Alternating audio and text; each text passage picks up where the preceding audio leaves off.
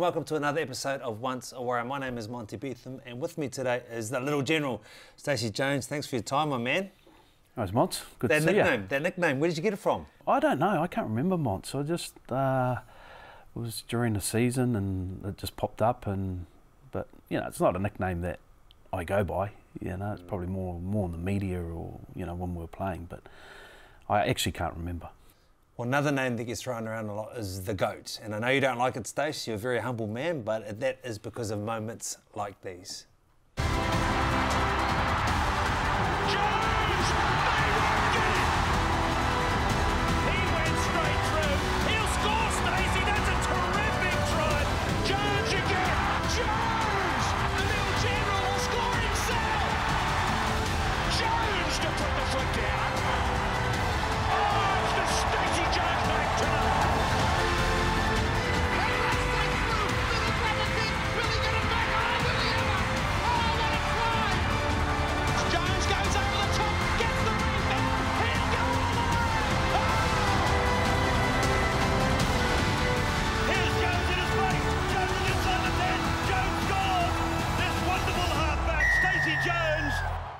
Stace, memories uh, when you watch that back, that footage? Yeah, obviously some really good memories. It was a long time ago, Monts. Um, but yeah, I, I had a really good time playing footy, especially uh, in that uh, you know early 2000 period. Um, you know when you were uh, captaining the side, and we had a good core of uh, experienced players um, and a good core of, of young kids coming through that were were very talented. Uh, you were the greatest player I played alongside. Um, I just want to know from you. I could put you on the spot. You don't have to think about it too long. Um, but who was that? Who was that warrior for you? Oh, yeah, that is on the spot. Oh, You know what? I, for me, um, was was Awen. You know, I guess because we're you know um, very close. You know, best mates playing footy, growing up together, and I really knew his game. He knew my game, and uh, I knew you know when he you know stepped over that, that white line to run onto the field, you knew what he was going to give because he put his body on the line every week, and he picked up I don't know how many injuries, reconstructions, and, and that all over his body, and um, you know he he actually got you know tougher as he got older. Yeah. You were day one at this club, Stace. Uh, you were one of the, the first uh, from a junior perspective to come through. Um, was it what you expected?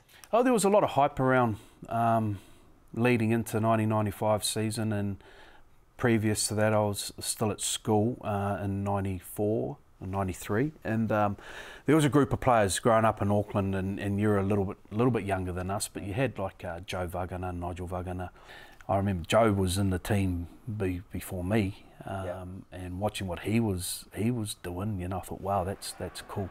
It was an amazing time because you sort of come straight from school and then you're rubbing shoulders with, you know, um, stars of the game, you know, Stephen Kearney, Greg Alexander, Phil Blake, Dean Bell. We had a good core of senior players when I, you know, when I first came in that, you know, obviously looked after me. Talk about that debut. Scored a try as well. What, what do you remember? Well, actually, it was a little bit different then. When I made my debut, I only played five minutes. So I, um, it was against Parramatta, and it was you only had two fresh reserves. Yeah. And then you could get as many as you wanted to go and be on the bench from reserve grade.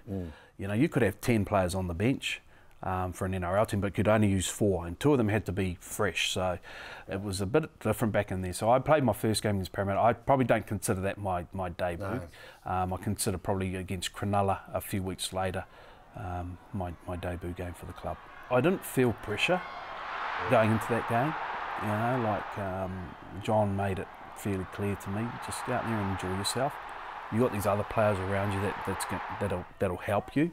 And um, we were lucky enough to go over there and, and play a decent game of footy. And fortunately for me, it was a game game we won. And um, and I was able to stay in the team the, the following week. Okay, then you went on to play 100 consecutive games. Um, was was that luck? Was that management? Because that's that's tough to do, man. Yeah, I guess for myself, you know, uh, it didn't have to do much tackling when you're a halfback back there. You've got to tackle now if you're a halfback, but I got I got looked after, you know, so uh, the body was, was pretty good. So I was very fortunate that um, I didn't pick up any major injuries. Had quite a few little injuries that, that hurt me, but uh, no no major ones that that you know was able to keep me off the field. Who early on was was, was crucial in your career?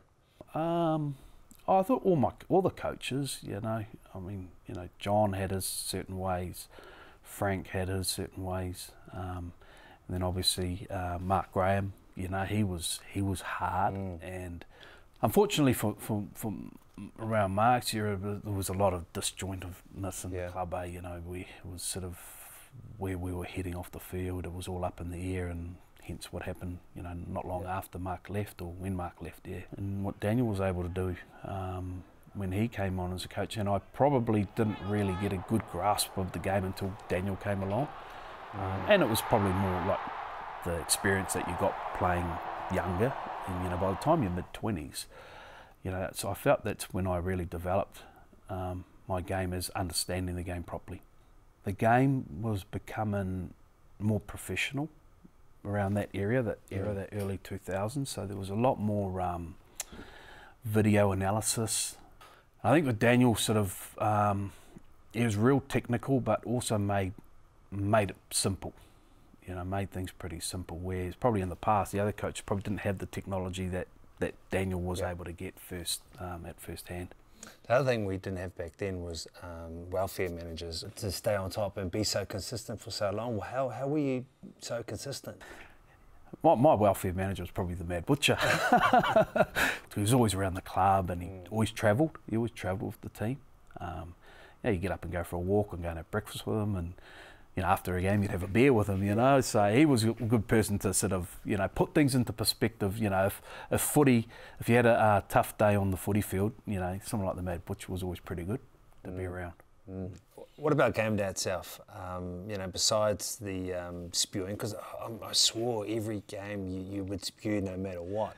Half time. There's always half time. Half-time. Sometimes I thought it was pre-game. No, but no, maybe no, it was always half time. Wasn't good. But the the mindset, uh, the mental preparation that you went into the game, uh, knowing that you sort of had to sort of run the ship or, or, or drive the bus. when things were, were kept simple, you know, um, certainly helped my game.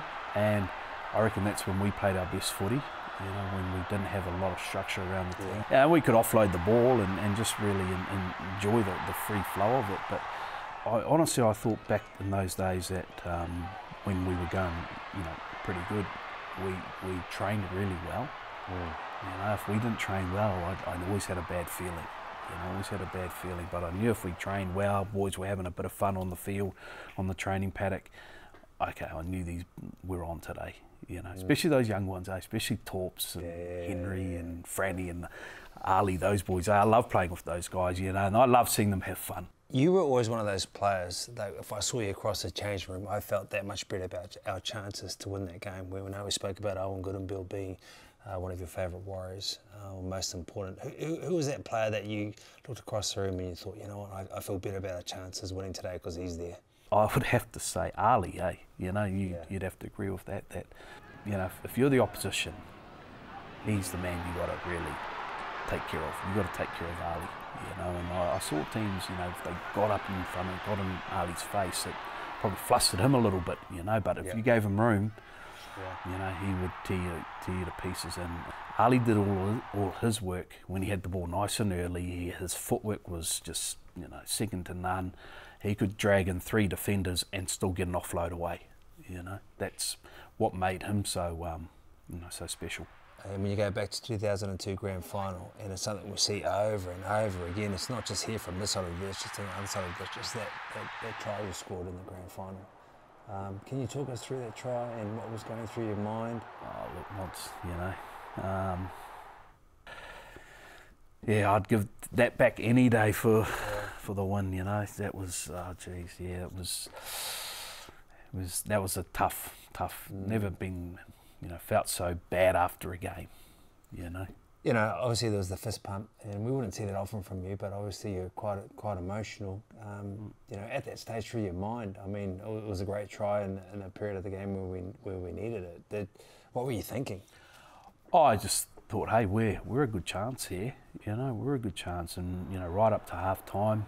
Um, I remember we, we kick a ball and the ball bounces the wrong way. At moments like that, you think if only that gone our way, and Freddie decides that okay, I'm going to grab the game by the scruff of the neck. You know, it wasn't until probably the 60th minute when they real when they sort of got control of that game. But yeah, it's in the past now, Mont, so I don't really, yeah, don't really want to talk about. Well, yeah. you know what I mean. Absolutely. 261 games for the club, Stace. Um, absolute legend. Uh, the most memorable games for you? The hundredth game was was pretty special. We Refresh my memory. Who was that? Yeah, that was Newcastle. Oh, yes. Yeah, Newcastle Mount Smart. Um, Johnny Simon was the was the halfback. He had a blinder that day, and we beat Newcastle. We beat them by 40. It was it was a wet day, Saturday afternoon at, at Mount Smart, and um, you know Newcastle were a good team.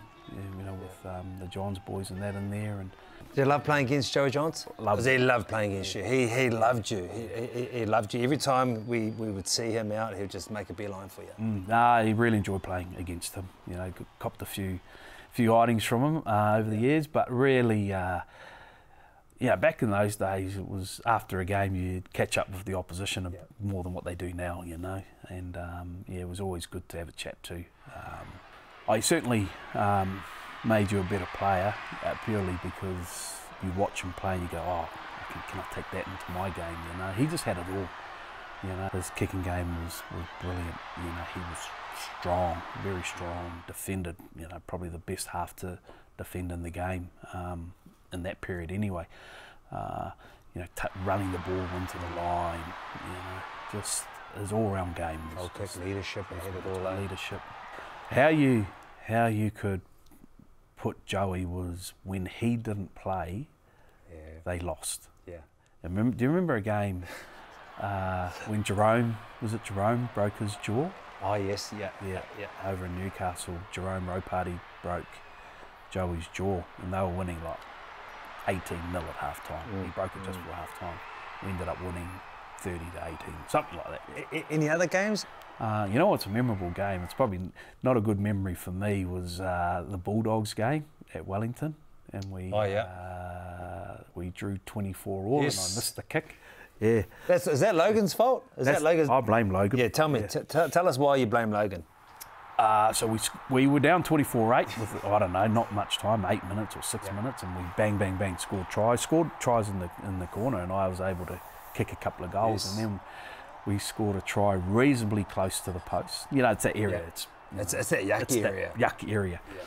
And Logan, no, he goes me, Stace, just take your time, no pressure. Oh, Thanks, Logs. that was a good night.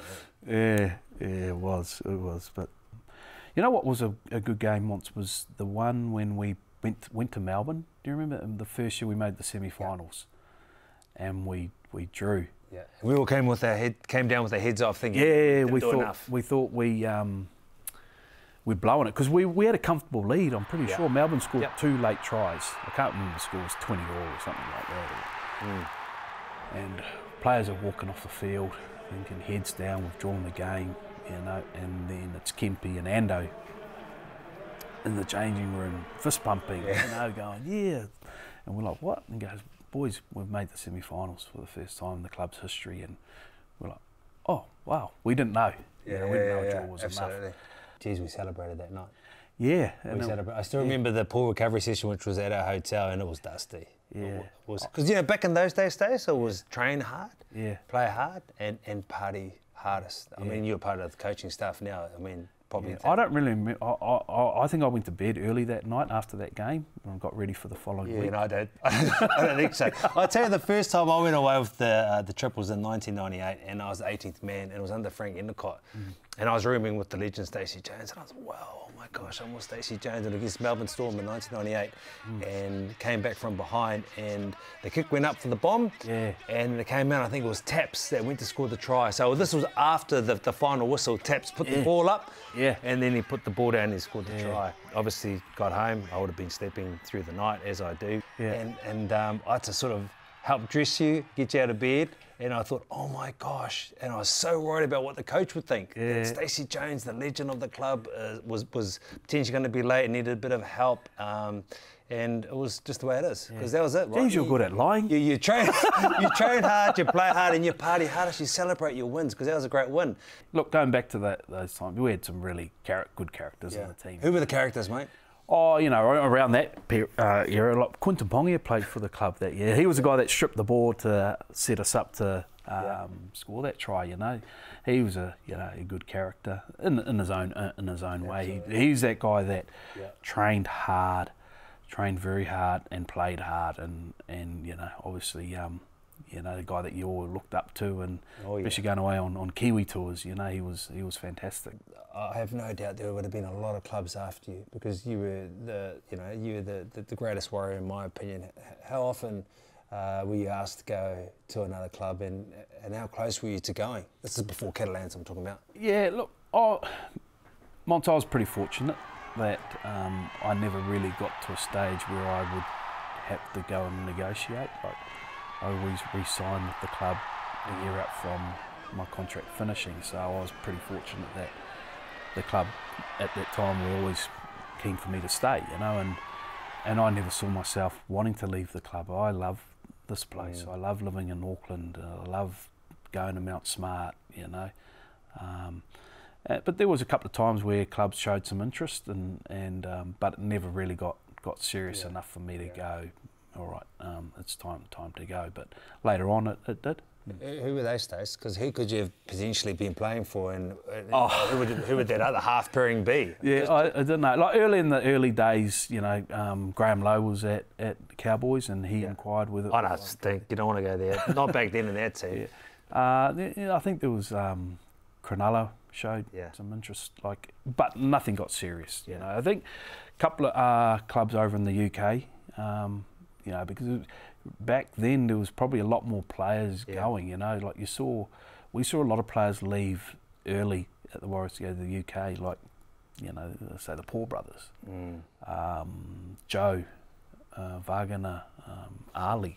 You know, when you Yeah. know, you, players left too early, but it was more attractive to go to the UK at that period. Eh, you know, like the game, the game was very strong over there. Um, was you know, um, they they really com- probably competed with the, the NRL a bit more. There's a lot more experienced Australian and Kiwis that were playing over there at that time too. You left and you went to Catalans. And Oh, I, I'd, I'd done, you know, my time was done here. Yeah. I felt. I, Uh, I thought you signed a lifetime contract, man. I remember when they came over the loudspeaker. Stacey Jones has signed a lifetime Oh. contract. yeah, no, I don't know what happened. yeah, but uh, uh, now it was time to go. Um, know, we, the club had gone through a bit of a, a tough period there Yeah. when, when Ando left and then Mick uh, Watson left, the CEO, and there was a lot of players going, and Mm. yourself, Ali had gone, and Yeah. Um, you know, I, if I had my time again, I probably, you know, probably should have stayed for a bit longer, and, and you know, I would have loved to played under,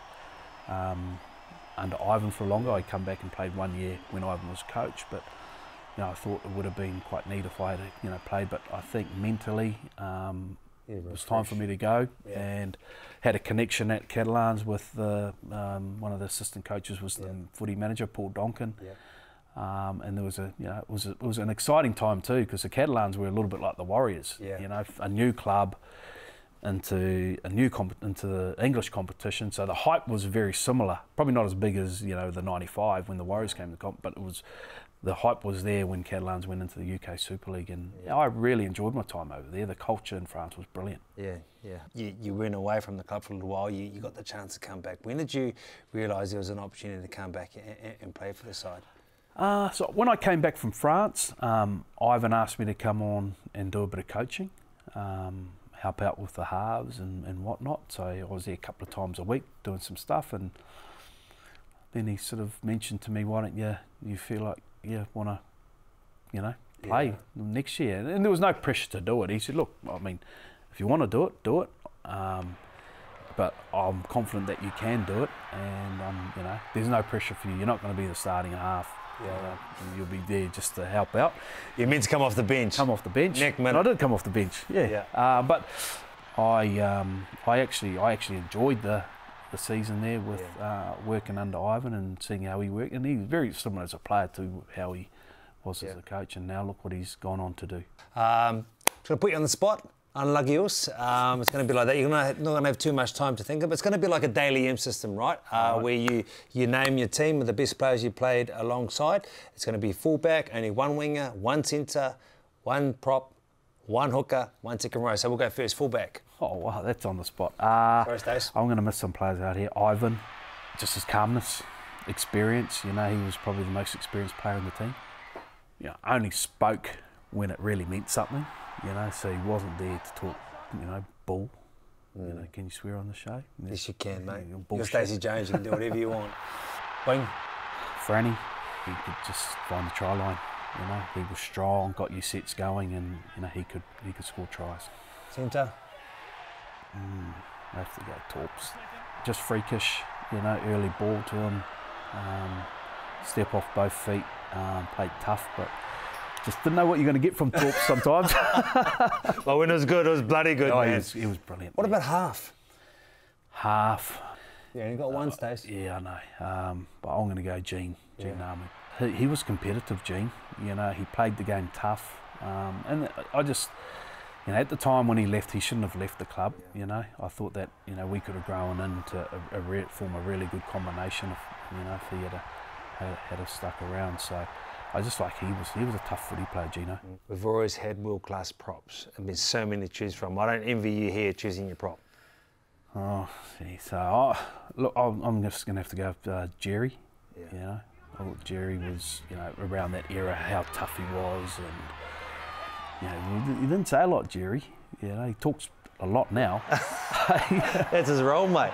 Uh, but I loved him on the bus. Hey, how good was Jerry on Yeah, the bus? yeah. Hey, after especially, uh, you know, you wake up from a game and you're driving driving to the airport, driving to Sydney Airport from the hotel, and Jerry, the only time you'd hear him speak would Yeah. be on the mic Comedian, telling his that's right, jokes. So, yeah. yeah. but I, I think Jerry for me. You're nine? Well, there's you. Oh, no, come on. Let's be honest. There's you. Cetera, there's PJ Marsh. I, I think PJ was probably the one Yeah. pick. You know, I like- knew you were going to say PJ. Yeah, he was super fit, super competitive. You know what? He he could just see things happen, and you know when you saw some ruck speed, all you had to do was just make sure you were right next to PJ because he was gone. Service very good.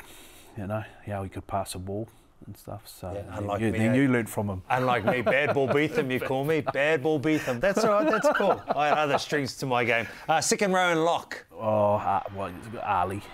Ali second row and, and Locke's a really tough one. You know, again, there's yourself, there's Campo, and uh, you know, and Awen. You know, um, uh, I'll just go. Um, I'll go Awen um, purely because of what, what Because I've he's your mate. Oh, he's That's my mate. enough. Yeah. You're, left You're my mate too. round. Oh, good. Sweet, man. With this club itself, uh, only one of three guys that have played at the top level and also coached at the top level. What does that mean to you? Yeah, look, I, uh, I mean, obviously, when I took over last year, it was just by, you know, it just had to happen, you know. And I, I don't have any aspirations to be a head coach. I enjoy what I'm doing, Yep. you know, um, as, as an assistant and, and, and trying to, you know, the, the area I look after, make sure that that's going really good. Uh, like I'm really loving working with with Webby at the moment because he's he's actually ha- he's helping me. You know um, where he's been as a coach, the level, you know what he did at Penrith and being here previously. I worked closely with Webby, so um, yeah, just just learning from from different different coaches, even with the Kiwis, learning from Yeah. Michael Maguire. Mm. Stace once a warrior, always a warrior, and I think you single-handedly at times made people want to play for the club. Many people loving the great game of rugby league and the club. So thank you so much for all you've done and continue to do for the Warriors. No, no worries, Bots. And thank you for tuning in. This time next week, we will be back for another edition of Once a Warrior. Jones,